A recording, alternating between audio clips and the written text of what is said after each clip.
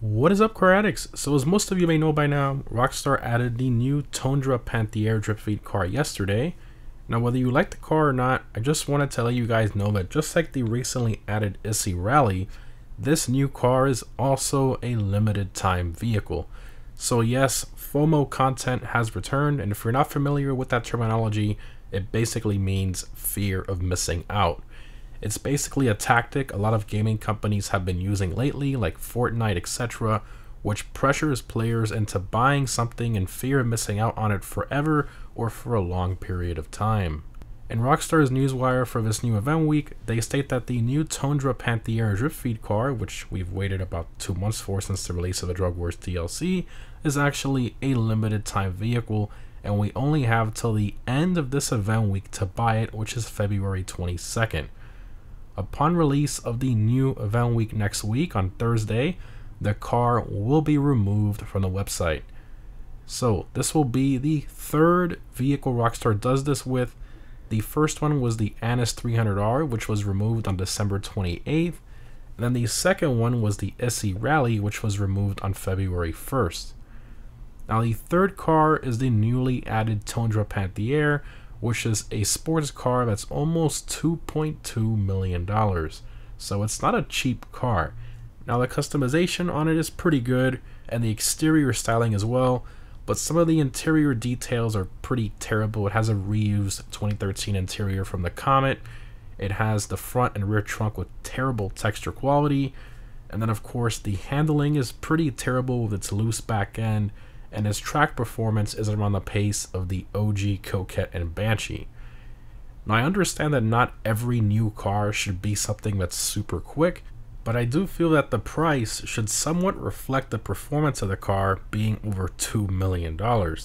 Definitely doesn't correlate to its price tag in the case of the Panthere, especially when we compare it to some of the top tier supercars. Remember, the Panthere is a sports car, and if you see the pricing comparison here, I mean, Panthere is a very expensive car. Now, for those of you wondering what will happen with these limited time cars when they're gone, well, usually in these situations, what Rockstar does is remove them from the website and then add them back at a later period in time when most of the drip feed content is over. So I would guess around sometime in April is when they'll most likely return, but it's not confirmed as of yet.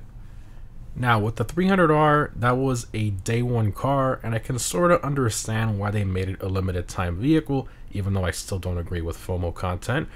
But with the Issi Rally and the newly added Panthere, they're starting this trend with limited time cars, which is essentially drip feeding a car and then later on drip feeding it again, which was something that was already drip fed, which just makes zero sense to me. I strongly disagree with making drip feed cars limited time items after players waited so long for it since the launch of the DLC. And pressuring them into buying it by only giving them a week to decide is just a really scummy tactic in my opinion. Now let's say you didn't buy one of those limited time cars like the Issi Rally or 300R which are currently gone and you want to buy it now. Well, obviously it's not on the website so you can't buy it from there. So if you're on next gen, the logical thing to do is to go to the LS Car Meet and utilize the House feature that allows you to buy friends' cars. Well, Rockstar actually did think of this, and they will not let you buy a limited time car from a friend. However, if you already own said limited time car, it will let you buy it off your friend, so you can buy a second or third one, whatever, which really shows how much Rockstar is really trying to push this FOMO content. So the only way you're going to be able to get a limited time car after it's gone is by utilizing a glitch, which most players don't want to do, especially the legitimate ones.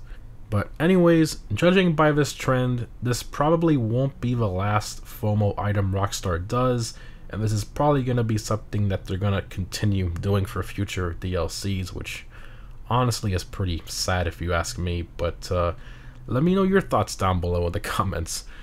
Thanks for watching, guys, and I'll see you in the next one.